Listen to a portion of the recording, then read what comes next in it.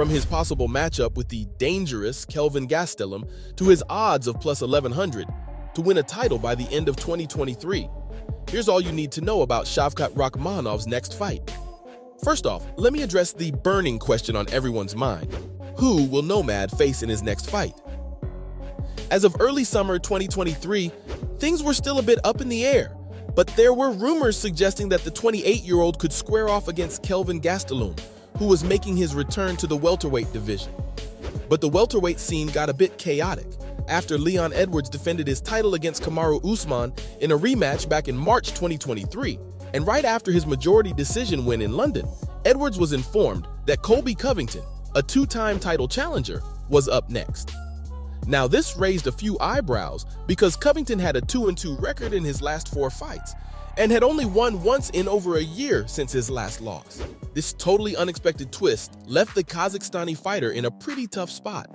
On the same night that Covington was given the next challenger spot, Rakhmonov was linked to a potential matchup with Belal Muhammad, who was widely seen as the rightful next title contender. But if Nomad fought Muhammad, it would mean having to wait behind Covington, which didn't seem fair. Then, UFC 288 happened, but the co-main event between Charles Oliveira and Beneil Dariush ended up getting canceled. That's when Muhammad stepped in on short notice and faced Gilbert Burns, winning by unanimous decision and solidifying his position as the next contender behind Covington. Now, Burns could have been an option for the young welterweight, but in stroke of bad luck, he suffered multiple upper body injuries in his loss to Muhammad, delaying his return. With most of the other top 10 fighters already booked or tied to immediate title scenarios, the matchup with Gastelum started to gain traction. But here's the big question. Does a matchup with Gastelum really make sense for the Kazakh fighter right now? The 28-year-old is sitting pretty at number 6 in the rankings, and if he manages to take down a big name like Gastelum, it'll send shockwaves through the entire division. But let's not forget, securing a win from Gastelum is not as easy as it sounds, and this dude is making a bold move by stepping up to the 170-pound weight class.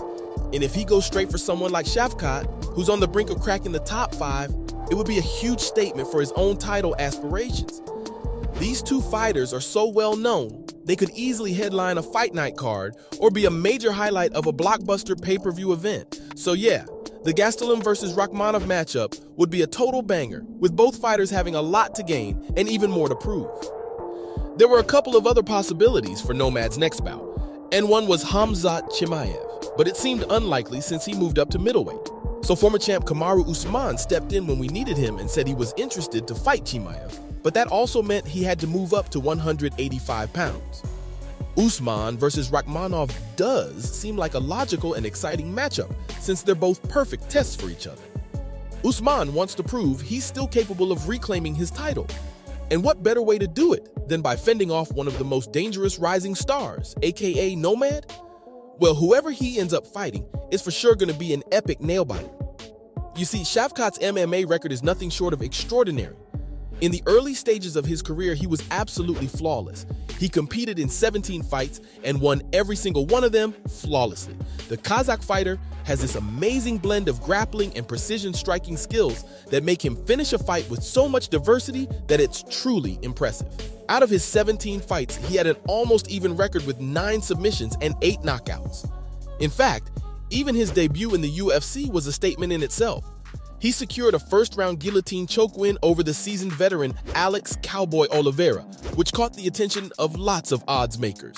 From then on, Rakhmonov became a favorite in his next six bookings, with no worse than minus 280 moneyline odds in his favor.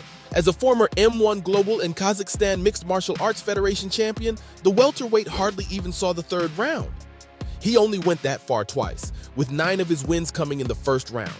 He's been dangerous in the ring right from the get-go, so it's no surprise that in his second UFC appearance, Rakhmonov claimed another victim, and this time it was Michael Prazeres.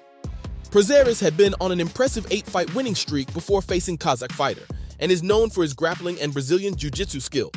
So he was expected to put up a challenge, but he was no match for Shavkat and suffered his first and only career defeat through submission. It's clear that Nomad's a pretty tactical guy. And while his grappling skills are always on display, he likes to damage his opponents with his striking first, before going for a potential submission. A huge example of this was his bout against Carlston Harris, and it seemed like the fight was heading towards a similar finish, but Nomad delivered a highlight reel moment with a first-round spinning wheel kick. After that impressive win, the 28-year-old became a favorite in all his bouts that followed, with odds no worse than minus 320E. The promotion saw Rakhmonov's potential as an undefeated finishing machine, and that's why they matched him up against Neil Magny, who holds the record for the most wins in the division. Despite Magny's vast experience, he was no match for Shavkat's dominance, and Nomad controlled the fight right from the first round as he unleashed his ground and pound. The punishment continued into the second round, ultimately leading to Magny tapping from a guillotine choke. Now, there's no doubt that Shavkat's MMA record speaks volumes about his skills, and his fight against Geoff Neal makes that extremely clear. It was an absolute thriller, and without a doubt, his most competitive matchup to date. Neal was on a blazing hot streak leading up to the fight, and he entered the octagon with a chip on his shoulder, carrying plus 333 betting odds against Rakhmonov's minus 560. The welterweights wasted no time in unleashing a storm of heavy shots on each other, but here's where Nomad truly shined. His clinch work was on a whole other level, delivering punishing elbows and tight punches that overwhelmed Neal.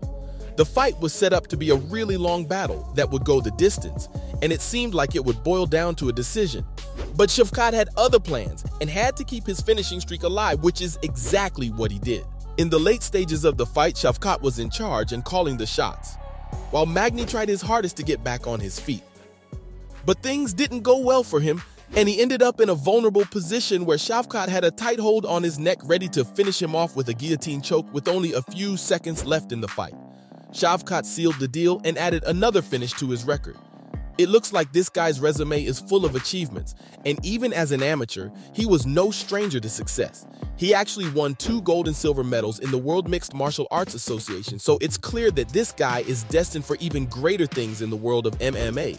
Speaking of greater things, let's talk about his championship odds. In the first half of 2023, the odds makers at DraftKings Sportsbook gave him odds of plus 1100 to win a title by the end of the year. But it wasn't a favorable bet, considering that there were already a lot of other strong competitors in the division because of Dana White's decision to grant the Chaos a title shot. This decision really decreased Rakhmonov's chances of getting an opportunity to fight, and realistically speaking, unless something crazy happens, like a bunch of fighters getting hurt, Nomad probably won't get a shot at the title in 2023, especially with Covington and Belal Muhammad ahead of him in the queue. Leon Edwards, the reigning champ, will face either Covington or Muhammad in his next title defense, and that's going to be the last welterweight title fight of 2023. Now, if Nomad were to secure a high-profile matchup against someone like Kamaru Usman, Gilbert Burns, or Kelvin Gastelum, a successful performance could get him closer to a title shot. But like I said, Fight fans are going to have to wait this one out until 2024. So while the Kazakh fighter definitely has the potential to fight for a title in the future, it seems unlikely that it'll happen within the year. But who knows? The world of MMA is full of surprises, and Nomad's talent and determination could lead to a title shot sooner than you think. So, from odds makers giving him odds of plus 1100 to win a title by the end of 2023, to his possible matchup with the dangerous Kelvin Gastelum. That's all you need to know about Shavkat Rakhmonov's next fight.